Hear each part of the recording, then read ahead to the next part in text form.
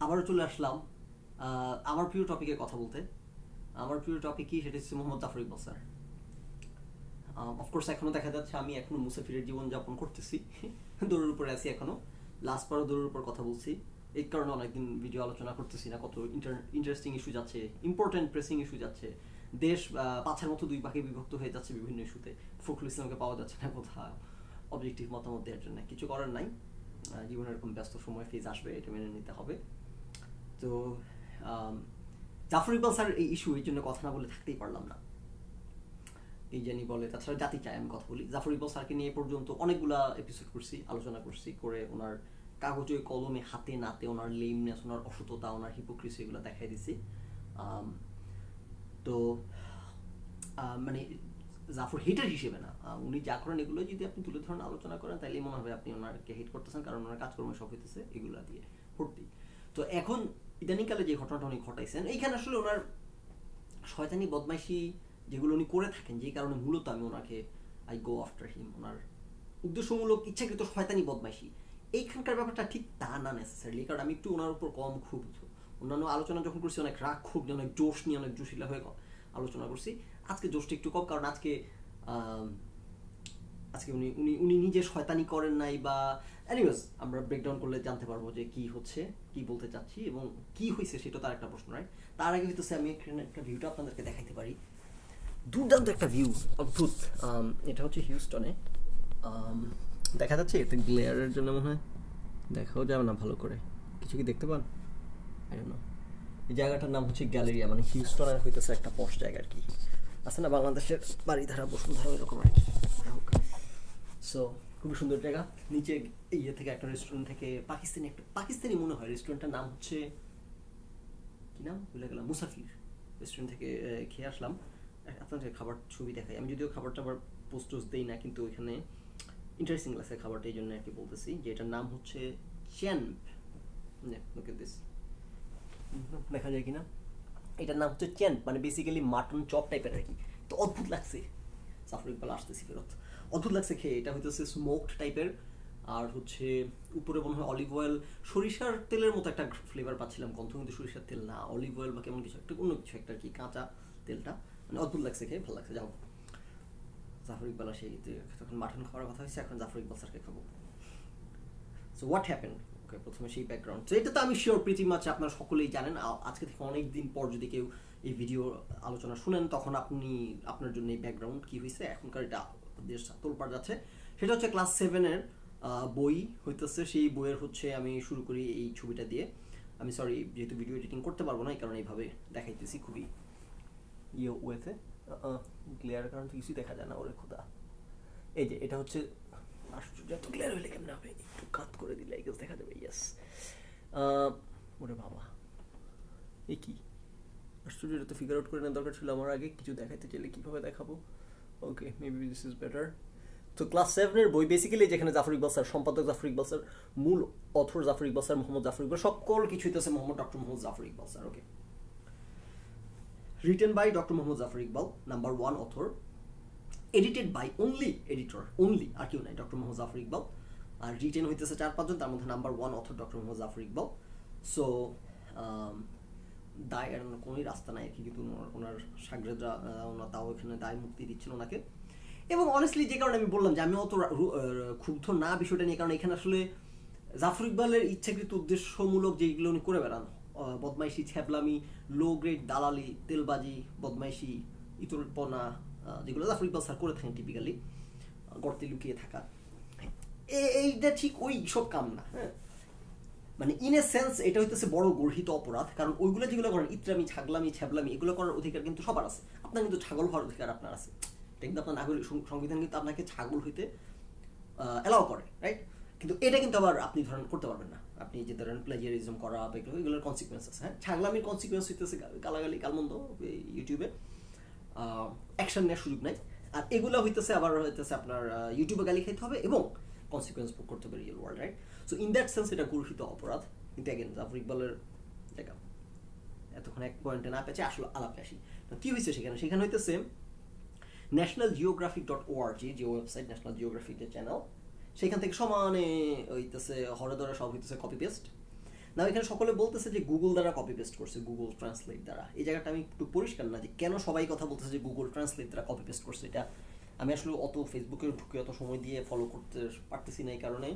হয়তো এই ইনফরমেশন গ্যাপটা নাকি কোনো ইনফরমেশন গ্যাপ নাই, আসলেই কথাটা ঠিক গ্রহণযোগ্য না আই ডোন্ট নো দ্যাট যে অনুবাদটা যেটা পড়লাম, যে বইয়ে পাঠ্যপুস্তকে ক্লাস সেভেনের যে অনুবাদগুলা, অনুবাদগুলো খুব সুন্দর বাংলা। গুগল ট্রান্সলেট তো এত সুন্দর বাংলা করতে পারে না। সো এত সুন্দর বাংলা হলে এটা গুগল ট্রান্সলেট দিয়ে ট্রান্সলেট করছে, এই কথাটা যে সবাই বলতেছে, এই তথ্য না কই পাইলো? মানে যদি এমন হইতো যে বাংলাটা খুবই কিম্ভূত কিমাকার একটা বাংলা ক্লাস সেভেনের বই ইনক্লুড করছে, তাইলে ওকে ফাইন যে কি রে ব্যাপার, এই অদ্ভুত, উদ্ভট বাংলা কেন? তারপর দেখা গেল যে একটা ইংরেজি ভার্সন আছে ওয়েবসাইটে পাওয়া গেছে। তার মানে ও গুগল ট্রান্সলেট দিয়ে বাংলা করে মারছে। দেখে এত উদ্ভুত বাংলা। বাংলা দেখতেছি সুন্দর গেট গেট করা বাংলা। তাহলে গুগল ট্রান্সলেট দিয়ে অনুবাদ করা, এই কথাটাই সকলে বলতেছে। এটার ভিত্তি কি বুঝলাম না, কারণ বাংলাটা তো অসুন্দর না। তাহলে আপনারা কীভাবে জানলেন যে গুগল ট্রান্সলেট দ্বারা? হুবহু অনুবাদ দেখে? হুবহু ওয়েবসাইটের ইংরেজিটা বাংলা করছে দেখে? সেটা তো কোনো মানুষও করতে পারে। গুগল ট্রান্সলেট করছে আপনি কেন মনে হচ্ছে? এগেন আমি এটা কেন সবাই পয়েন্টটা তো ইয়ে করতেছে? এগেন আমি যদি কোনো এখানে ইনফরমেশন গ্যাপ থেকে থাকে, যেহেতু আমি ফলো করতে পারছি না অত ভালোভাবে, আমার বোঝার কোনো গ্যাপ থেকে থাকে, সেটা হলে তো কমেন্টে জানান। আমি যতটুকু দেখছি, আমার মনে হয় না যে এখানে আমার কোথাও কোনো গ্যাপ আছে। আমার মনে হয়েছে যে সবাই যে কথাটা বলতেছে দাবিটা ভিত্তি দুর্বল আর কি, এরকম দাবি করার কোনো আমি সুযোগ দেখি না কি, যে কোথেকে আপনারা এই কনক্লুশনে পৌঁছে যেতেছেন যে গুগল ট্রান্সলেট এখানে বাংলার ট্রান্সলেশনটা ভুল ভালো কোনো ট্রান্সলেশন না বা খুব পুয়ার কোয়ালিটি ট্রান্সলেশন না ওকে নাও এটা হচ্ছে মূল জায়গাটা রাইট এখন আস্তে আস্তে মাটি খুঁড়তে কেঁচু খুঁড়তে গিয়ে আরও বের হইতেছে যে এরকম আরও অনেক বই পাওয়া যাচ্ছে আরও অনেক জায়গা পাওয়া যাচ্ছে, খালি হইতেছে কপি পেস্ট করা কপি পেস্ট করা। নাও কথা হচ্ছে যে প্রথমত কপি পেস্ট করে যেটা হয়েছে যে জাফর ইকবাল স্যারের যে এরকম ভাষায় উনি বই লিখতে চান, ওনাকে দায়িত্ব দেওয়া হয়েছে কেন? কারণ উনি শিশু কিশোরদের সাথে কমিউনিকেট করতে পারেন রাইট উনি উনি বাচ্চাদের সাথে বাচ্চাদের ভাষায় কথা বলতে পারেন। যে কারণে ওনাকে বাচ্চা কাচ্চারা ভালোবাসে, যে কারণে ওনার বই বাচ্চা কাচ্চারা পছন্দ করে রাইট সো ওই গুণ ওনার আছে বিধায়। বুঝলেন না? এটা হচ্ছে কি মানে সমস্যাটা কোন জায়গায়? যে কারণে দেখেন না, বাঙালি ভালো কোনো কাজ করলে কিন্তু আমি সাথে সাথে বাভারটা ঢুকিয়ে দিই সমালোচনা করার জন্য। মানুষ মনে মনে ভাবে, আপনি মনে বাঙালি ভালো দেখতে পারেন। না, আসলে সেটা সব ঘটনা হচ্ছে যে, এরা হইতেছে সব স্টানবাদ যেটা সবসময় বলি স্টানবাজ আর কি, গাছের আপনার এই গোড়ায় কেটে উপরে হইতেছে পানি ঢালতে থাকবে। জীবন দিয়ে পানি ঢালতে থাকবে আর বলতে দেখেন না, আমরা কত পরিশ্রম করতেছি, আমরা দেশের পেছনে কত শ্রম, মেধা ঢালতেছি, আপনি প্রশংসা করেন না কেন? গোড়া কাটার জন্য প্রশংসা করতে পারতেছি না। সেগুলো হচ্ছে সব স্টানবাজি right so metro rail course ওইটা নিয়ে আমি একটু সমালোচনা করে দিচ্ছি আমার মজা লাগে সব এই বাঙালির এই আনন্দ, উল্লাসের মধ্যে ভামার ঢুকিয়ে দিতে। কারণ এগুলো কোনো ফল আসবে না। কি গ্যারান্টিড আপনি কথা বলছেন না আপনি যদি হায়ার কি মেনটেন না করেন হ্যাঁ মনে করেন।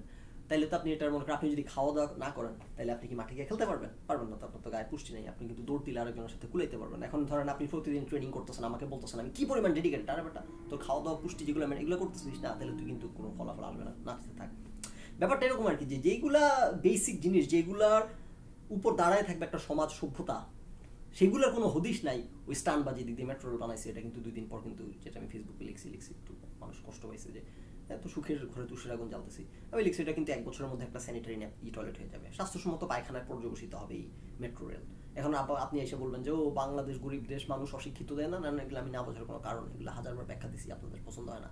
তো আপনাদের যদি ব্যাখ্যা পছন্দ হয় না, আমার ব্যাখ্যার দরকার নাই এন্ড রেজাল্ট নিয়ে কথা। আপনার মেট্রো রেলের চেহারা কি কি হয়? এক বছর পরে এসে দেখা যাবে ওকে সো জাফর ইকবালদের এই ঘটনা, এই জয়ী কারণে বলতেছিলাম যে, বই পুস্তক নিয়ে হ্যাঁ সরকার এমন একটা ভাব, স্টান বাজার কি? এমন একটা স্টানবাজি সরকার যে অ্যাজ ইফ দে কেয়ার যে বাচ্চাদের ভবিষ্যৎ, বাচ্চারা পড়াশোনায় আগ্রহী হচ্ছে না। এদিকে কিন্তু দখল চলতেছে আসছে। এদিক থেকে কিন্তু গণহারে জিপিএ ফাইভ দেওয়া হইতেছে সরকার নিজের ভাবমূর্তি ধরে রাখার জন্য।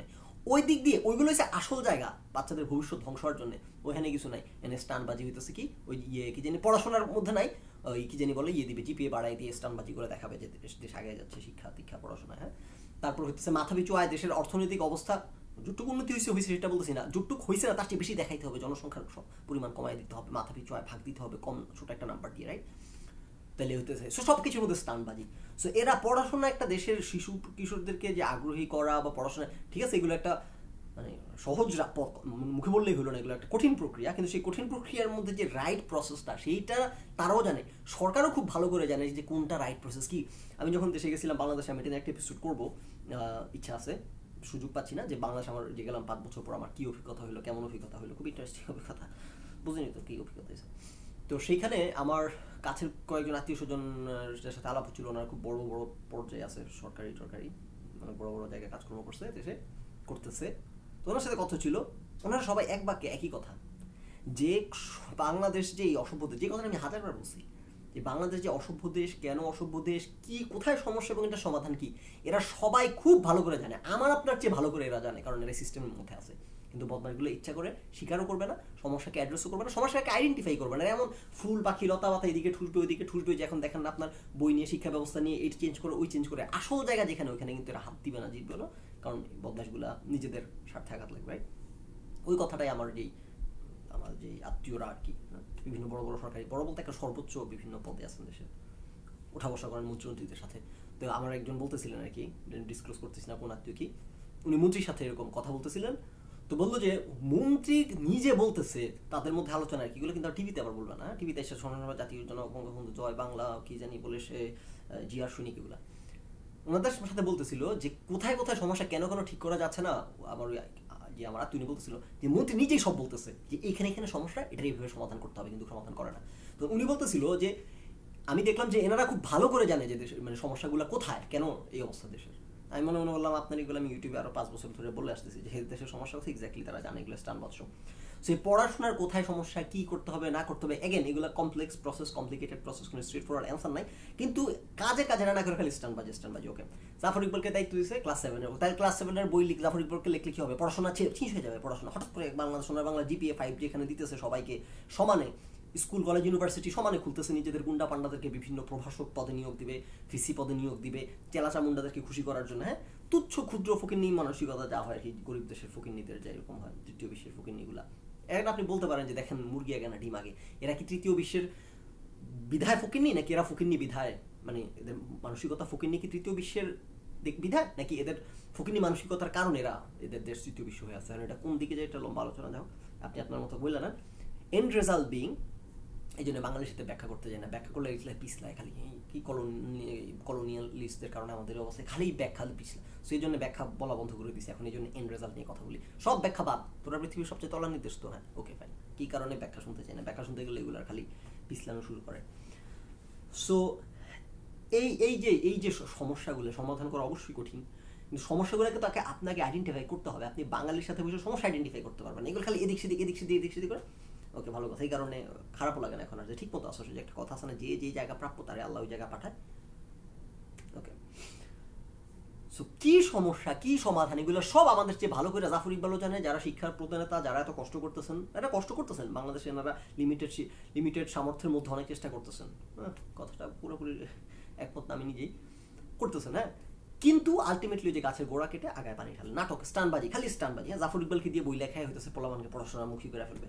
তো জাফর ইকবালকে বই দেখে লেখায় কি লাভ হয়েছে সেই বই কি জাফর ইকবাল লিখছে? তাহলে ইদার সেই বই জাফর ইকবাল লিখে নাই। লিখলে এত চুরি হলো কেমন? তাহলে কি জাফর ইকবাল চোর?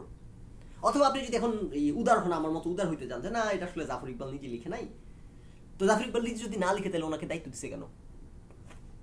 আসতেছি আমি টেকনিক্যালি, ওনাকে প্যাঁচ দিয়ে ধরার জায়গা তো অবশ্যই আছে। আমি তো অবশ্যই বিং ট্রু জেনারাস জেনারাসিটি দিয়েই শুরু করতেছি আর কি আলাপটা। এক্সকিউজ মি সো তাহলে জাফর ইকবালকে দায়িত্ব দিছো কেন? উনি যদি না লিখে আর উনি যদি লিখে থাকে, তাহলে তো চুরি সব দায়িত্ব ওনাকে নিতে হয় রাইট ওকে তাহলে কি মানে এটা স্টানবাজি? জাফর ইকবালের নাম ঢুকেছে স্টানবাজি করার জন্য রাইট আচ্ছা ওকে সো এটাই তো বললাম, খালি স্টানবাজি। এখন আমি যেটা মনে করতে পারি, যেটা হয়তো হয়েছে এখন জাফর ইকবালের তো চুরির ট্র্যাক রেকর্ড আছে, ওনাকে যে ছাইড়া দিবেন, কেমনে ছাড়বেন বলেন? উনি তো, ওনার বিরুদ্ধে অভিযোগ তো দীর্ঘদিনের যে ওনার বইয়ের মধ্যে হইতেছে বিভিন্ন রাসান উপন্যাসের গল্প মাইরা উনি, না বাংলা। এখনই না ইন্টারনেট থাকায় কানেক্টিভিটি বেড়ে যাওয়ায় কোথায় কি হয় না হুটহাট ধরা পড়ে যায়। ওনাদের সময় এসে সেভেন্টিজ এইটিজে যখন বই লিখছে, কোন চিপা থেকে ওনারা ইউএসএ থেকে গেছেন? সারা পৃথিবীর ইয়েতে এক্সপোজ হয়েছেন বাঙালি তো আর ইউএসএর এখানকার কি চলতেছে জানে না। সো এখান থেকে চুরি করে মাইরা দিলে এগুলো ধরা পড়তে পড়তে ত্রিশ বছর লেগে গেছে ইন্টারনেট আসা পর্যন্ত। মেক সেন্স এবং উনিও তখন তো আর হয়তো হয়তো কি, তখন তার কেউ এনভিশন করে না যে একটা পৃথিবী এরকম আসবে যেখানে আমার সব ধরা বেরা যাবে গুগল দিয়ে হ্যাঁ? সো ওনার এই কিন্তু ট্র্যাক রেকর্ড আছে, এই কাম করার। তো সেক্ষেত্রে ওনাকে বেনিফিট অফ দ্য ডাউট খুব বেশি জেনারাস হয়ে যাচ্ছে। ওনাকে এটা বলে যে উনি নিজেই চুরি দায়ী করে নাই। না realistically speaking what I think happened has happened আর কি, সেটা হচ্ছে যে জাফর ইকবাল চুরি করার কথা না। কারণ কি? কারণ হচ্ছে একদিন এককালে উনি করছে, উনার মধ্যে চুরি খাসতে আছে, সেটা ঠিক আছে, কিন্তু এখনকার পৃথিবীতে যে চুরি করলে পার পাবে না, এটা জানার কথা জাফর ইকবালের। এবং ওনার স্ট্যাচারের লোক উনি একটা তো নেতা হয়ে গেছেন দেশের জনপ্রিয় হয়ে গেছেন সাকরাত পেয়ে গেছেন অনেক।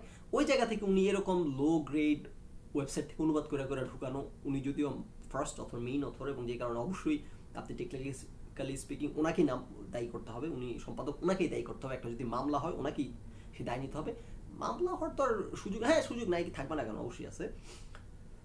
ওই সিভিল কেস হবে আর কি হয়তো। তো, এবং এখানে যদি কোনো শাস্তির ব্যবস্থা হয়, কোনো ডিমোশন ওনার তো রিটায়ারমেন্টে চলে গেছেন উনি ওনাকে। যে কোনো ক্যাপাসিটি শাস্তি, ওনার কোনো ইয়ে কেড়ে নেওয়া হোক, উপাধি, পদক এটা তো প্লেজিয়ারিজম এগুলা তো আপনি ধরেন যে ইয়েতে একটা স্টোরি শুনছিলাম ইউএসএতে একটা ইউনিভার্সিটিতে একটা ইন্ডিয়ানের স্টোরি ইন্ডিয়ানগুলো তো এগুলো তো চাইনিজ ইন্ডিয়ান এগুলো কিন্তু গল্প ভালো না, দেশের বাইরে এগুলো শুনতে পারবেন। একটা কালচার বোঝেন না, বাঙালি আপনি কিন্তু, জায়গা, বাঙালি কিন্তু একটা কালচার থেকে বের এগুলো দেখুন এরকম একরকম আছে কাজ কাম আচরণ।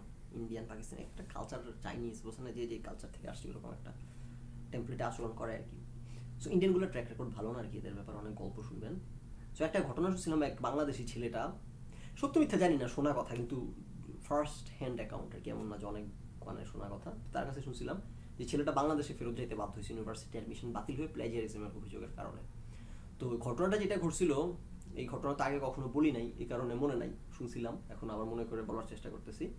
ঘটনাটা যেরকম হয়েছিল সম্ভবত, ওই ইন্ডিয়ান ছেলেটা এরকম প্রজেক্ট ওয়ার্ক একসাথে তো ইন্ডিয়ান ছেলেটা মনে হয় ওই বাংলাদেশি ছেলেটার কাছ থেকে হেল্প চাইছি কি, বলছে যে পেন ড্রাইভে করে যে কি আমি তোমার এটা থেকে হেল্প নিবই না না ডাইরেক্ট কপি পেস্ট করে কি কি জানি ভুলে গেছে যেটা পরে সে ডাইরেক্ট কপি পেস্ট করে দিছে। কপি পেস্ট করে ওই বাংলাদেশি ছেলের যে তার রেকর্ডটা কেমন জানি ডিলিট করে দিছে। বেসিক্যালি এখন প্রমাণ নাই বাংলাদেশি ছেলের যে এটা তার অরিজিনাল কাজটা ইন্ডিয়ান ছেলেটা তার কাছ থেকে নিছে। এখন প্রমাণ ডকুমেন্ট হিসেবে ডকুমেন্টেড যে ইন্ডিয়ান ছেলেটার এটা অরিজিনাল কাজ আর বাংলাদেশি ছেলেটা ওরটার মাইরা দিছে, যেহেতু ওর কাছে কোনো প্রমাণ নেই ব্যাপারটা এরকম হয়ে গেছে। সো পরে যখন প্লেজারিজম ধরা পড়ছে ইউনিভার্সিটি থেকে কল করছে বাংলাদেশি ওই ছেলে কান্নাকাটি করে বুঝাইছে, সবাই বুঝতে পারছে যে, কিন্তু বুঝতে করার নাই কাগজে কলমে, কিন্তু বুঝতে পেরে লাভ নাই, কাগজ কলম কি বলে? কাগজ কলম বলতেছে সে প্লেজারিজম করছে, সবাই বুঝতে পারল কিছু করার নাই বাংলাদেশি ছেলে ইউনিভার্সিটি থেকে কিক আউট করছে, সে দেশে চলে গেছে। এরকম একটা স্টোরি শুনছি। সো আমরা সবাই যদি এটা বুঝিও, যে হয়তো জাফর ইকবাল এই লোটি আর স্যাবলামিটা করে নাই, কিন্তু কিছু করার নাই কাগজে কলমে, কিন্তু জাফর ইকবাল তাই অ্যাকশন নিতে হলে ওনার বিরুদ্ধে নিতে হবে। আচ্ছা আমরা যেহেতু এখানে ডেলি শো উইথ ফোকর সুপ্রিম কোর্ট আজকে বসাই নাই সেই জন্য লেভারেজ দিয়ে আলোচনাটা করি। সো হয়তো কি হয়েছে, জাফর ইকবাল দায়িত্ব দিছে যাদেরকে, বাকি যে অথররা তারা এগুলো করে আনছে। জাফর ইকবাল পড়ছে, পড়ে দেখছে যারে। আমাদের তোমরা জেনে অবাক হবে যে জাফর ইকবালের যে ভাষা, বইয়ের ভাষাটা কিন্তু এরকম সহজ পাঠ্য সহজ পাঠ্য ছিল। খটমটা ভাষা ছিল না। সো জাফর ইকবালের পছন্দ হয়েছে জাফর ইকবাল। ওর নাইস সুন্দর, আমার মতো, মনের মতো হয়েছে, বই ঢুকিয়ে দিছে না একজন সম্পাদকের কাজই তো এটা। মানে সম্পাদকের কাজ কি? সম্পাদনা করা। তার কাজ কি? এই দশজন যে জিনিসটা আছে, এগুলো ভেরিফাই করা, এগুলো ঠিকঠাক কিনা এটা এখন সত্যি কথা বলতে honestly speaking if I be to fair to Zafar Iqbal মানে একটু লিটল টু ফেয়ার যদি হয়ে যায় তাহলে যেটা হচ্ছে যে ধরেন, আমি এগুলো পড়ে আমার কাছে মনে হয়েছে আচ্ছা আমার মাথায় কিন্তু আসতো না যেটা কোথা থেকে কপি পেস্ট করছে। আমার কাছেও পড়ে মনে হতো অরিজিনাল কোনো কারণে সন্দেহের উদ্রেক হইলে তখনই না সার্চ করার প্রশ্ন আসে রাইট সো আমি হয়তো দেখে ধরতে পারতাম না। কিন্তু সম্পাদকের পদে যেহেতু আসি সেহেতু আমি বাই ডেফিনেশন আমার দায়িত্ব যে সন্দেহ করে চেক করা। এটা তো সাধারণ কোনো পাঠক না, যে আমার সন্দেহ নেই, ছেড়ে দিলাম। সম্পাদকের কাজটা কি? সেগুলো খুঁটিয়ে খুঁটিয়ে দেখা গেলে কি? তাদেরকে জিজ্ঞেস করা যে, এটা সোর্স কি? তুমি কোথেকে আনছো বা কি? তাইলে কিন্তু বের হয়ে যেত, কারণ তাহলে সরাসরি মিথ্যা কথা বলতে পারতো না। একটা পর্যায়ে বলতে হইতো যে, আমি একটা ওয়েবসাইট থেকে নিচ্ছি ও তাহলে তুমি ক্রেডিট দাও না কেন? অথবা তুমি ওয়েবসাইট থেকে এরকম হু হু অনুবাদ করতেছো কেন? অথবা ওয়েবসাইট কি কোনো রিলেবল রেফারেন্স কিনা একটা স্কুলের পোলাপানের পাঠ্য বই? ন্যাশনাল কারিকুলামের যে পাঠ্য বইটার কি ওয়েবসাইটের রেফারেন্স তুমি? আচ্ছা ওয়েবসাইট থেকে নিচ্ছ ভালো কথা। ওটা কি ক্রস চেক করছ ভেরিফাই করছ রিসার্চ পেপার পড়ে, অন্যান্য দেশের পাঠ্য বই পড়ে? তুমি হুবহু মেরা দিতেছো কেন? হ্যাঁ হয়তো তারা ক্রস চেক করছে, করে দেখছে। অ্যাকুরেট তথ্য এই জন্য ওয়েবসাইট থেকে নিছে, কারণ ওয়েবসাইটের ভাষাটা প্রাঞ্জল আছে ওকে তো হুবহু তুমি এভাবে অনুবাদ করতে পারতো না। মানে প্লেজিয়ারিজমের পয়েন্টটাই তো বিং যে আপনি একই জিনিস লিখবেন, কোনো সমস্যা নেই, কিন্তু আপনি আপনার ভাষা দিয়ে লিখতে হবে, আপনি ল্যাঙ্গুয়েজ চেঞ্জ করতে হবে। ল্যাঙ্গুয়েজ মানে এই তো প্লেজারিজম এরকম কি জানি একটা মাঝখানে দেখছিলাম এরকম কেমনে জানি প্লেজারিজমের খুবই স্ট্রিক্ট ডেফিনেশন যে সফটওয়্যারগুলো এগুলো ধরে যে কেমনি কি এগুলা ইন্টারেস্টিং একটা দেখছিলাম আর কি, যে কীভাবে পরপর কয়টা শব্দ জানি একরকম হইলে তখন ওটাকে প্লেজারিজম হিসেবে দাবি করা যায়। কই জানি একটা ডেফিনেশন আর কি দেখছিলাম। মানে কোয়ান্টিটিভ ডেফিনেশন আর কি প্লেজারিজমের কোয়ালিটিটিভটা কোয়ান্টিটিভ যে কী হলে আপনি শিওরলি বলবেন যে এটা প্লেজারাইজ করা হয়েছে ও না, ব্যাপারটা এরকম ছিল যে মানুষ সম্ভবত এরকম একটা রিসার্চ বা কিছু একটা জরিপ বা স্টাডি যে মানুষ হইতেছে, দুইটা মানুষ ইন্ডিপেন্ডেন্টলি যদি দুইটা, একটা কথা লিখে, তাহলে পর পর হাইয়েস্ট কতটা ওয়ার্ড একই রকম হওয়ার প্রবাবিলিটি কত? সেরকম মনে হয় পরপর চারটা ওয়ার্ড বা পাঁচটা পাঁচটা মতো পাঁচটা ওয়ার্ড পর পর একই রকম হওয়ার probability almost zero so say আপনি যদি এরকম একজন একটা লিখে লিখছে, আরেকজন একটা লিখে লিখছে, দুইটা লেখাতেই একটা লাইনের মধ্যে পরপর পাঁচটা ওয়ার্ড একইভাবে বসছে, তার মানে এটা দেয় যে হাই চান্স যে এটা ইন্ডিপেন্ডেন্ট কাজ না, এটা চুরি কাজ। সো সেখানে তো লাইনের পর লাইন হওয়ার প্রশ্নই ওঠে না ইন্ডিপেন্ডেন্টলি হইলে রাইট সো এটা ক্লিয়ারলি বোঝা যাচ্ছে যে এটা প্লেজারাইজ করা। তাহলে আপনি এখন আপনি জাফর ইকবাল তো নিয়ে একজন ইয়ে মানুষ কি যেন ওনাকে দায়িত্ব দিচ্ছে কেন? উনি ইউএসএ থেকে পড়াশোনা করে আসছে উনি একজন উচ্চশিক্ষিত লোক ভালো পড়াশোনা রিসার্চ করছে। উনি সভ্য বিশ্বে কাজ করে আসছে বড় বড় জায়গায়। তার মানে উনি জানে। এরা না বলে যে হ্যাঁ, যারা ভালো আমেরিকা ইউরোপে পড়াশোনা করছে এরা দেশের ব্রেন ড্রেন হয়ে যাচ্ছে এরা দেশে ফেরত আসে না। এই কথাগুলো কেন বলে? দেশে ফিরে আসলে কি হবে? লাভ কি? ও আচ্ছা কন্ট্রিবিউট করবে যেগুলো শিখে আসছে যেগুলো দেশে অবদান রাখবে জাফর ইকবালে যে এখন রাখতেছেন ইট ইস এক্সপেক্টেড কিন্তু আপনি যদি জিয়া শুনিক মুজিব শুনিক না হন, তাহলে কিন্তু আপনি কিন্তু কন্ট্রিবিউট করতে পারবেন না। হালুয়া টাইট হয়ে যাবে এই জন্য কেউ দেশে ফেরত আসে না, আর চেলা চামুন্ডাগুলো বলে যে দেশে কেন ফেরত আসে না। সো জাফর ইকবালদের তো কোনো সমস্যা নেই, ওনারা তো হইতেছে পাঁচাটা দালাল টাইপের সো ওনারা এই দেশে ভালো আছেন। সো ওনারা তো দেশে কন্ট্রিবিউট করার সুযোগও ওনাদেরকে সরকার করে দিচ্ছে দালালির উপহার স্বরূপ আর কি যা হোক। সো ওনারা কি কন্ট্রিবিউটটা করলেন? আপনি দেশের বাড়ি যা শিখে আসলেন এটা কি দেয়? আপনার কাছ থেকে শিখবে? বললাম সেখানে আপনি প্লেজিয়ারিজম হইতেছে, আপনি সম্পাদক, আপনি অথর মেইন অথর আপনার অধীনে এগুলো হইতেছে। আমি কিন্তু অ্যাগেন অনেক ট্রু জেনারাস হয়ে বলতেছি, কারণ সবগুলোর দায় কিন্তু ওনার উপর আসে। আমি কিন্তু ওনার উপর দায় দিচ্ছি না। আমি বলতেছি যে ওনার স্ট্রেচারের লোক, এই কাম করার কথা না। ওই অত অন্য অথররা যারা, তাদেরকে উনি দায়িত্ব দিচ্ছে এই কাম করছে, উনি সম্পাদনার দুর্বলতা নাম্বার ওয়ান নাম্বার টু উনি তো একজন এখন রিটায়ার্ড লোক। ওনার কামটা কি? উনি যদি হয়তো একটা ফুল টাইম রিসার্চার প্রফেসর এত কাজের মধ্যে, তারপরে বললাম যে, মানলাম যে উনি প্রধান সম্পাদক হইলেও, প্রধান অথর হইলেও, আসলে রিয়েলিস্টিকলি স্পিকিং এত ব্যস্ততার মধ্যে উনি পারেন নাই ওই পরিমাণ এফোর্ট দিতে। তাইলে এমন লোক অবশ্যই দায়িত্ব দেওয়া যায় না টু বিগিন উইথ সেটা রাইট কথা। যদি সেরকম হতো তাহলে বলতাম যাচ্ছে ওই ব্যস্ততার মধ্যে না। ওনার তো কোনো কাম কাজ নাই। ওনার এখন কাম হইতেছে বৈশা বৈশা পত্রিকার মধ্যে ইয়ে লেখা, কি জানি বলে কলাম লেখা কি জানি বলে মুক্তিযুদ্ধ চেতনার সপক্ষ নিয়ে দালালি করা, তেলবাজি করা, লোটিয়ার, তেলবাজি করা। আর হইতেছে বইমেলার মধ্যে বই বের করা। সো ওনার তো কোনো ফুল টাইম জব নাই। তাহলে ওনাকে যদি এত বড় একটা দায়িত্ব দেয়, তখন তো ওনার সব কাজ বন্ধ রেখে উনি ফুল টাইম এটার পেছনে ডেডিকেটেড হয়ে, কারণ উনি শিক্ষা ব্যবস্থা নিয়ে অনেক কথা বলে দেশের শিক্ষা ব্যবস্থার। বাচ্চা কাচ্চাদের এই ক্লাস সিক্স সেভেনের বই তাদের সারা জীবন শেপ করবে, তাদের পড়াশোনার প্রতি আগ্রহ তৈরি হওয়া, এইসব কারণেই তো জাফর ইকবালকে দায়িত্ব দেওয়া হয়েছে। তো সেইখানে যদি এই অবস্থা হয়, তাহলে Zafar Iqbal what does he stand for উনি এত কথা বলে এত কিছু করে যে অলিম্পিয়াড নিয়ে অনেক চিল্লাচিল্লা হয়। Zafar Iqbal sir math olympiad করে বাংলাদেশকে আসমানে চান্দের দেশে নিয়ে গেছে, দেশকে উড়ে ফেলতেছে। কথা পার্টলি ট্রু এগুলো হইতেছে যারা ওই যে আমরা অ্যাগেন স্টানবাজি হ্যাঁ? আমরা খালি স্টানবাজগুলোকে চিনি। যারা পর্দার পেছনে থাকে, যে কায়কুবাদ স্যার, তারপরে যে মাহবুবুর মজুমদার স্যার, ওনাদেরকে কিন্তু কেউ চেনে না। মুনির হাসান এখন উনি একটু ফেসবুক টেসবুক লেখালেখি করে সামনে আসছে। এনারা কিন্তু কষ্ট করে ম্যাথ অলিম্পিয়াডকে এই জায়গায় নিয়ে গেছে। ওই জাফর ইকবাল যদি ম্যাথ অলিম্পিয়াড সবাই ক্যামেরা নিয়ে জাফর ইকবালের ক্ষমাটা ধরে রাখে, তার মানে জাফর ইকবাল মানে ম্যাথ অলিম্পিয়াড। না, জাফর ইকবাল মানে ম্যাথ অলিম্পিয়াড না। তো আমি ওনার ভূমিকাকে খাটো করতেছি না যেটুকু ভূমিকা আছে, কিন্তু বলতেছি যে স্টানবাজি আর কি। ওই যে ড্রোন জাফর ইকবাল ড্রোন বানা হ্যাঁ? এর চেয়ে বেটার রিসার্চ বাংলাদেশে কিন্তু এর চেয়ে বেটার রিসার্চ হইতেছে রিলেটিভলি স্পিকিং আর সে নাকি খেলনা বিমান বানাইছে, ক্যামেরা নিয়ে টিভিওয়ালারা দৌড়ে জাফর ইকবাল যেহেতু হ্যাঁ? সো এটা হচ্ছে স্টানবাজিতে বাঁচে। এবং জাফর ইকবাল তখন ড্রোন ওই ঘটনার সময় আমি এই সমালোচনাটা এটাই করছিলাম যে এরা মিডিয়ার লোকজন, মিডিয়া বাজারে কাটতে জন্য এগুলো করে বেড়াইতেছে। এরা সাধারণ মানুষ জানেও না হোয়াট ডাজ ইট মিন এগুলো কি ড্রোন খেলনা, বিমান টিমান রিমোট কন্ট্রোল দিয়ে চালানো। উড় এর চেয়ে সফস্টিকেটেড খেলনা, বিমান দোকানে কিনতে পাওয়া যায়। সো এগুলো নিয়ে যারা বোঝে না, জানা না, এরা ভাবতেছি কি জানি হাতি ঘোড়া মারতেছে। জাফর ইকবালের উচিত ছিল, দায়িত্ব ছিল আগে এসে বলে বলে, আরে দিদি এগুলো খেলনা, বিমান, এগুলো কোনো মৌলিক রিসার্চ না এগুলো কিছুই না এগুলো এগুলো স্টানবাজি আমাদের দেশে কোনো রিসার্চ হয় না এই জন্য আর মিডিয়া এগুলো কিছু পাইলে লাফালাফি করে, পরিমণির ইস্যু পাইলে নাচে, অমুকের ইস্যু পাইলে নাচে মিডিয়াগুলো এগুলো ইস্যু খোঁজে স্টানবাজি করতেছে এখানে। জাফর ইকবালের কথা বলার কথা। না না, জাফর ইকবাল কিন্তু অবগাহন করছেন সেই স্টানবাজির মধ্যে মানে উড়িয়ে ফেলতেছেন রিসার্চ করে। সো যখনই এই স্টানবাজিগুলো হয়, জাফর ইকবাল কিন্তু সুন্দর করে এগুলার খুব বেনিফিট নেন, মজা নেন হ্যাঁ? নিয়ে কিন্তু এই স্টানবাজের কালচার তৈরি হয়েছে। স্টান, ওনাদের অবদান নাই, জাফর ইকবালদের কন্ট্রিবিউশন নাই, বা এই দেশের এই অবস্থার পেছনে সেটা বলা যাচ্ছে না। আমি বলতেছি যে, জাফর ইকবাল যে বাংলাদেশের জন্য অনেক কিছু করে ফেলছেন, আমি কিন্তু অবজেক্টিভলি বলতেছি, কোনো হিটের জায়গা থেকে বলতেছি না। আই ডোন্ট থিঙ্ক সো উনি দেশে ফিরে আসছেন, এসে দেশের কোনো কিছু করেন দেশে ফিরে এসে কি জানি ছোট চাচুরি নিয়ে গল্পের বই লিখতেছেন, আর জিনভূত নিয়ে গল্পের বই লিখতেছেন, আর এই যে অলিম্পিয়াড অলিম্পিয়াড এগুলাতে ওনার অবদান আছে, কিন্তু তার চেয়ে বেশি অবদান অন্যান্য প্রচুর মানুষের আছে, আমরা চিনি না কেন, কারণ আমরা জাফর ইকবালকে গ্ল্যামার মুখ এই জন্য চিনি সো যাও it real this is reality আর কি এখন। তারপরে ওনাকে আমি ওনার যা- যতটুকু করছেন সেটাও খাটাগুড়া বলতেছি না, কিন্তু ওনাকে যেরকম লায়নাইজ করা হয়, যেরকম সেলিব্রেট করা হয়, অতটাও বস্তুনিষ্ঠ এটা বলতেছি, এত জায়গা। So basically Zafar Iqbal sir কি করছেন? ওনার কি অবদান? এখানে দেখেন, এইসব কথা আমি বলতে চাই না, কারণ আমি এগুলো একটা ফালতু ফাত্রা কথাবার্তা। কিসের অবদান কি আবার? কে মানে অবদান আমাকে একজন এই আমি কিছু আগে ফেসবুকে লিখছিলাম, কি জানি? যারা বিদেশে থেকে দেশের সমালোচনা করে, তাদের দেশের জন্য কি অবদান আছে? কি একজন স্ট্যাটাস দিছে? সেটার জবাব আমি লিখছিলাম যে ট্যাক্স দিছে, আর কি অবদান আছে? রিমিটেন্স পাঠাইছে, আর কি অবদান করব? কি কলি জ্যাকেটটা দিয়ে দিবো হ্যাঁ আমার যেই কাজ যার যে কাজ, সে যদি সেই কাজটা করে দেশের জন্য মানে অবদান আলোকে আমেরিকানকে বসে বসে, আমেরিকানরা বসে বসে চিল্লা চিল্লি করে যে কে কে দেশের জন্য কি অবদান রাখল। এগুলো ফকিনীদের এগুলো বলতে হয় গেল কারণ যে ফকিনীদের খালি স্থান বাজি হ্যাঁ? দেশের জন্য কি অবদান? অবদান মানে আমি ট্যাক্সের টাকা দিতেছি, আমি রেমিটেন্সের টাকা পাঠিয়ে দিচ্ছি আমার টাকা দিয়ে দেশ চলতেছে, আমি আর কি অবদান করুন ও স্টানবাজি চেতনা করলাম কে? কথা? আমি রিয়েল যেটা, দেশের ইকোনমিতে কন্ট্রিবিউট করা, গরিব দেশের সবচাইতে বড় অবদান হচ্ছে গরিব দেশের ইকোনমিতে কন্ট্রিবিউট করা, আমি কন্ট্রিবিউট করা। আমি সেটা করে নাকি আমি এনাফ করতেছি না, ওই যে ফেসবুকে চেতনা করলাম কিনা, এই চেতনাবাজদের কাছে পড়া দিতে হবে, যাদের কোনো কন্ট্রিবিউশন কিন্তু দেশের মধ্যে নাই, কোনো কন্ট্রিবিউশন নেই তাদের। এরা এসে ফেসবুকে স্ট্যাটাস দিচ্ছে যে, আমাদের কি অবদান? তোর কি অবদান? আমি অবদান আমি ট্যাক্স দিচ্ছি রেমিটেন্স দিচ্ছি, তুই কি করতেছিস? জায়গা সো এই বললাম আর কি স্টানবাজি খালি স্টানবাজি এখানে আপনাকে বুঝতে হবে যে আপনার, আপনি যদি পরনো কাপড় না থাকে, পেটেও ভাত না থাকে, আপনি বেঁচে থাকবেন কীভাবে? কিছু একটা আঁকড়ে ধরে তো বাঁচতে হবে, তখন স্টানবাজি করে বাঁচতে হবে আর কি।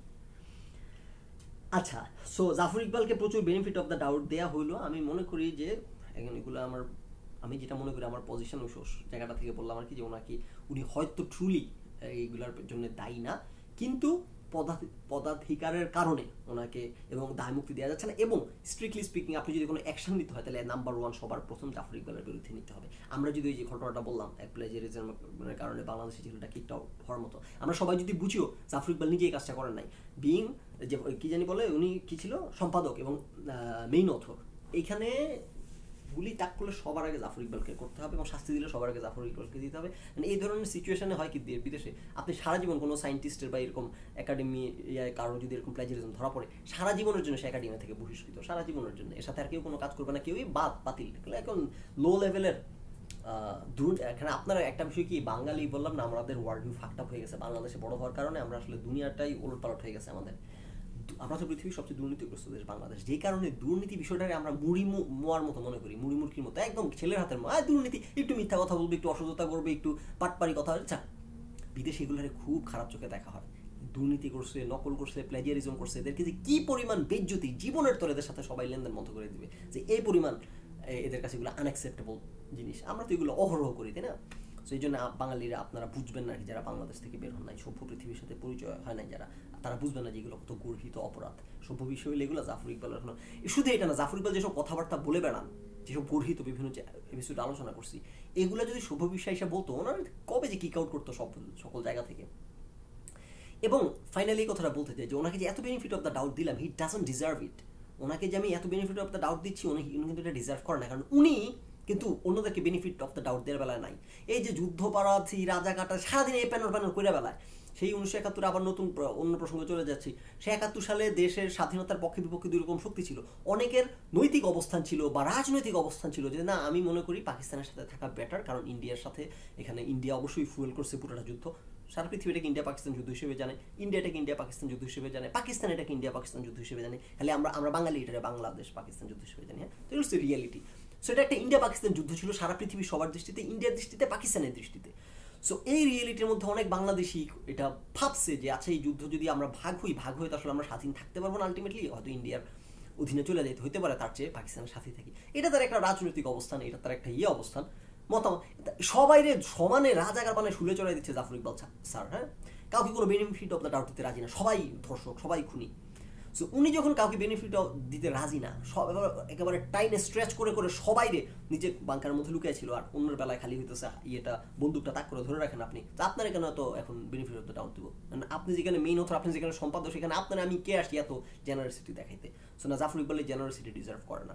উনি যেটা ডিজার্ভ করে he deserves to be shamed he deserve to be humiliated he deserve to be denounced এবং হইতেছে ওনাকে সারা পাবলিক শেমিং এর হইতেছে, কাজ উনি করছেন। উনি সম্পাদক উনি দায়িত্ব পালন করেন না ইফ এনিথিং উনি যদি এগুলো নাও করে থাকেন চুরিদারি ইফ এনিথিং উনি তো সম্পাদক, উনি তো মেইন অথর সো উনি কোনোভাবেই দায় এড়াইতে পারেন না। আর লাস্ট আর একটা কথা বলতে চাই, যে বইটার উপরে দেখলাম লিখে এক্সপেরিমেন্টাল ভার্সন পরীক্ষামূলক ভার্সন একটা বই ক্লাস সেভেনের পোলাবানের জাতীয় ন্যাশনাল এই কারিকুলাম একটা বই ইয়ে করা হয়েছে, ছাড়া হয়েছে মার্কেটে পরীক্ষামূলক ভার্সন বাচ্চা কাচ্চাদের কি এরা কি গিনিপিক মানে পরীক্ষামূলক ভার্সন কীভাবে পোলাবানের হাতে যায়? পরীক্ষামূলক ভার্সন তো পরীক্ষা লেবে থাকবে, পরীক্ষামূলক ভার্সন ইয়েতে কি করে?